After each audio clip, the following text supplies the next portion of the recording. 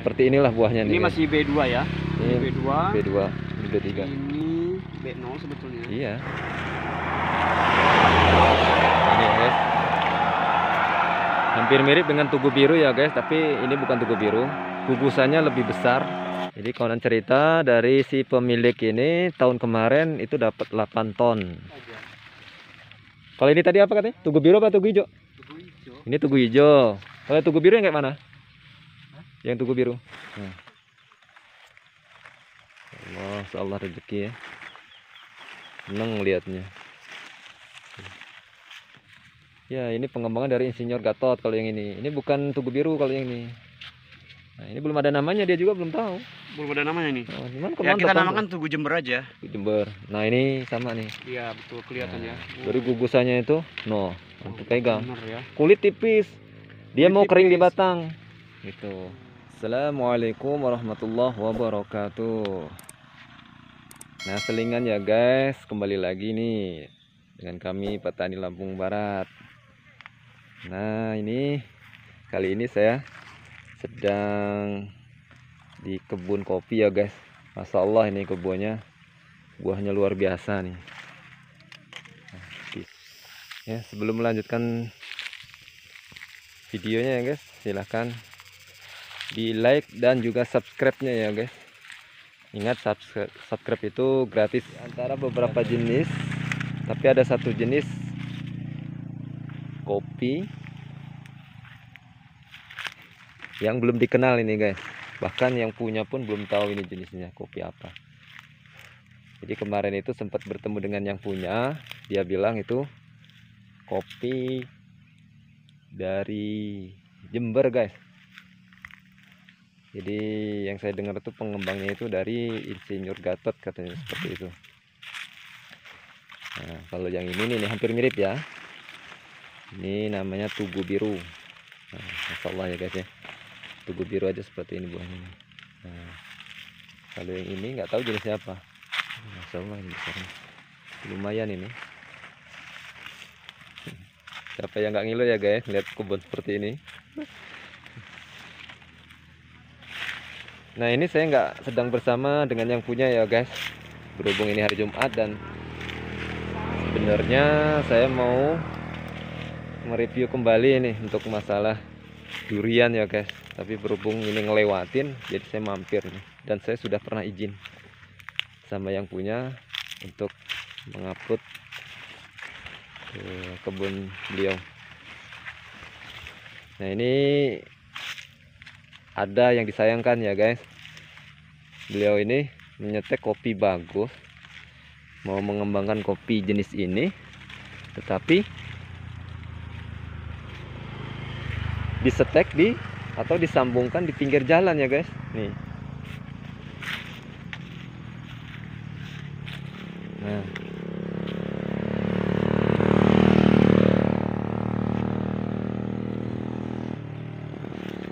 jadi setiap orang yang lalu lalang dia selalu melihat tuh ini kopi. Masya Allah lumayan lebet bagus. Ujung-ujungnya ya ujung-ujungnya jadi seperti ini ya guys nih. Dipotong oleh tangan-tangan yang tidak bertanggung jawab nih soalnya tanpa izin. Potong seperti ini nih guys ya. Potong-potong seperti ini dan pada saat itu saya lihat beliau yang memiliki kebun ini agak sedikit kecewa gitu. tetapi ya itu sebuah kesalahan sebenarnya. Kopi bagus disetek pinggir jalan.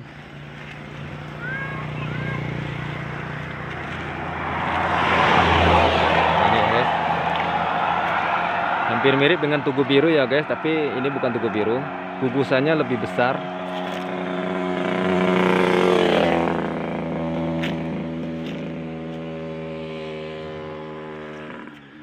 gugusannya dia lebih. Duh, kali ini bukan bukan kopi tin ini dibesari. Ya kita lihat agak sedikit masuk ya guys. Dan ini mau kering di batang. Nah kalau ini tugu biru. Seolah tugu biru ada seperti ini. Nah. Allah rezeki ya. Seneng liatnya. Nih. Allah, kalau batas 2 kilo, Allah ada ini. Kita sedikit agak masuk ya guys.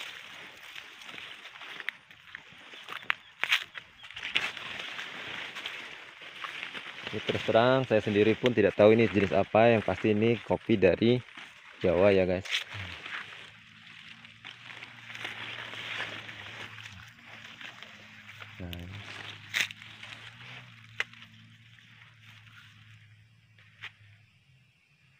rapat ya. Sangat rapat dengan tinggi sedang. Tidak terlalu tinggi dan tidak pula terlalu pendek.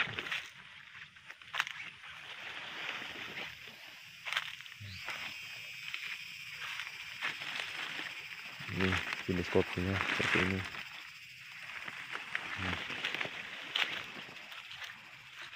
Desainnya luar biasa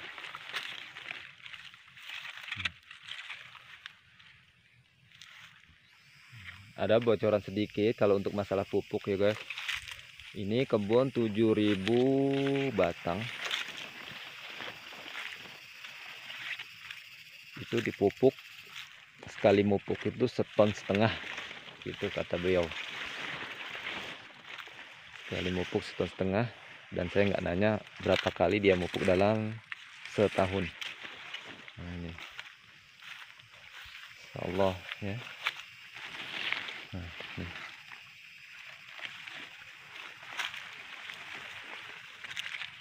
jadi kalian kalau mau melihat ataupun survei kebun punya tahu ini mama siapa ini?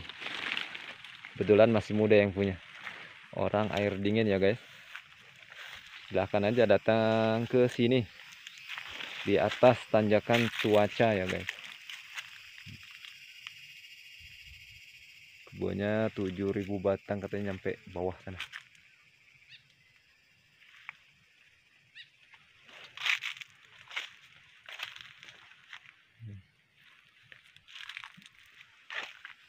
Jadi di antara kopi-kopi yang ada nah ini yang diprioritaskan kalau mau mas untuk masalah dikembangkan yaitu ada dua ya. Tugu biru dan yang tadi tidak ada namanya ya guys yang dari persilangan oleh bapak Gatot katanya dari Jember. Seperti yang ini. Nah demikian ya guys ya. Nggak perlu panjang lebar. Ini hanya selingan saja. Jadi mau ke tempat Bapak Rudi untuk survei durian ya guys mampir sebentar nah ini salam ya dari kami petani Lampung Barat jangan lupa like comment dan subscribe ya guys ya ini pengembangan dari insinyur Gatot kalau yang ini ini bukan tugu biru kalau yang ini nah ini belum ada namanya dia juga belum tahu Belum ada namanya nih. oh, cuman Ya kita kan, namakan Tugu Jember aja. Bro? Jember nah ini sama nih Iya betul kelihatan ya. dari gugusannya itu no Oh, untuk pegang Bener ya. kulit tipis dia Kulit mau kering di tipis. batang gitu. Oh, nah, Ini ini nih contoh nih. Jadi kawan-kawan yang kita cari yang kayak gini mm-mm. Bukan kaya kan? ini depan kapolsek apa mana? Kapol ini loh. Oh ini. Namanya kalau nggak salah Dwi. Masih muda. Izin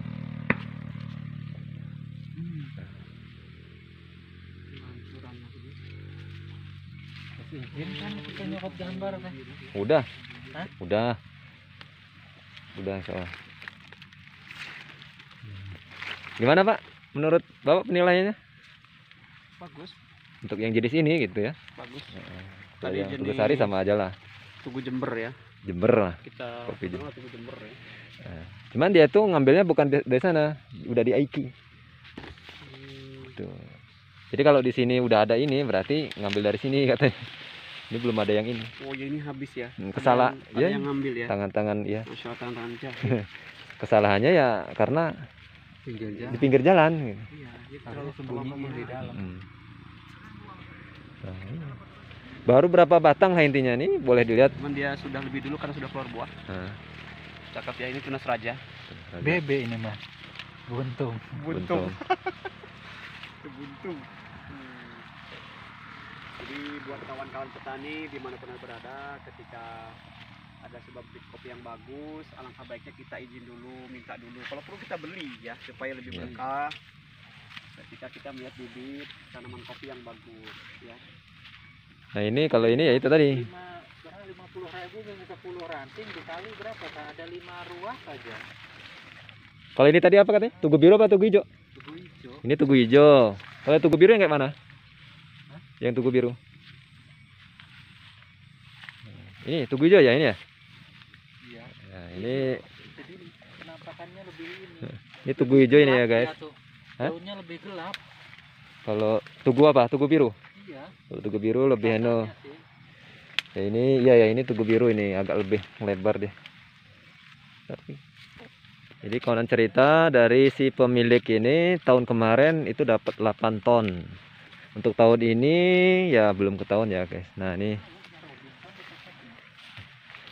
ini tugu Tunggu biru. tugu biru, tugu hijau atau tugu biru. Hampir mirip ya dengan kopi tadi. Ini gimana ini kira-kira untuk tahun depan? Berkurang ya? Asalnya bahannya tidak bahannya tidak ada. tidak ada ya. Ini apa ini? Ini bagus. Lokal. Ini lokal kan? Full buah. Berapa gugus coba itu? Baik. Satu, dua, tiga, empat, lima, enam, tujuh, delapan, sembilan, sepuluh, sebelas, dua belas, tiga belas, empat belas, lima belas, enam belas, tujuh belas, delapan belas. 19. Belum lagi ada ranting sininya ya. Nah, 19. Yo ini lokal ini ya. Lokal tapi oh, apa lagi ini?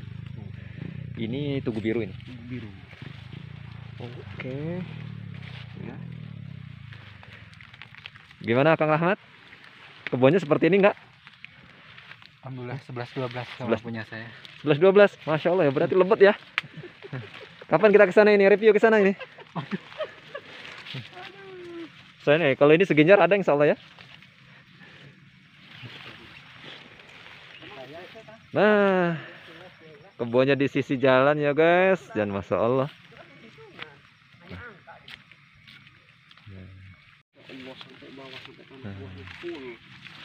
Nah ini kopi apa lagi ini? Enggak tahu. Ini kopi keriting kayaknya ini ya. Oh ya kopi keriting. Nah ini kopi keriting. Eh siapa yang sudah punya ya guys? Nah. Maaf latah ini. Kawan-kawan. bahan bahan dia masuk enggak ini? Enggak terlalu telat ini. Mana? Ini loh. Ya Ini sebenarnya bahan. masih kalah dengan ini nantinya. Kalau anu, kalau untuk bahan harusnya dari awal kemarin. Heeh, terlalu telat ya. Hmm. Harusnya udah segini nih. Tapi ini kayaknya nggak terlalu main kipas kopi ini. Hmm, insya Allah ini ya. Punya kayak gini aja seribu batang. Kalau ini bisa Nanti istrinya bisa tambah cantik kopinya. Jadi kalau mau survei atau mau melihat kebun ini silahkan aja ya guys. Ya kawan-kawan datang ke tanjakan apa ini? Talang cuaca ya. ya Setelah talang cuaca air dingin ya. Nah. Jadi yang punya ini orang air dingin. dari jalan. Hmm. Ini pas ya di pinggir jalan. Masya Allah, Masya Allah, tabarakallah.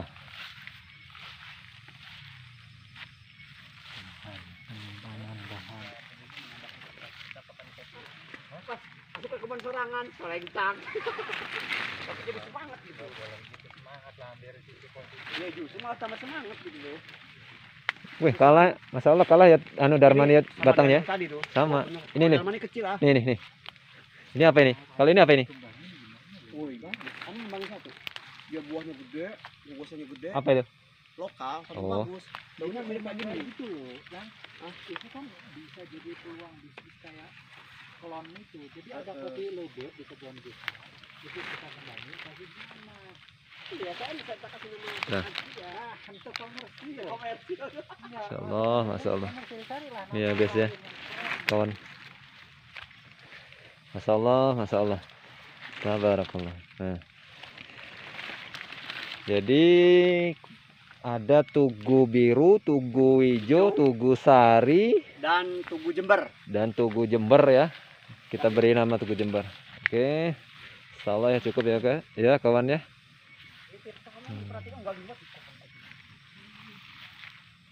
Ya, terima kasih sebelumnya bagi yang menonton. Jangan lupa like dan subscribe ya ke channel kami Petani Lampung Barat. Assalamualaikum warahmatullahi wabarakatuh.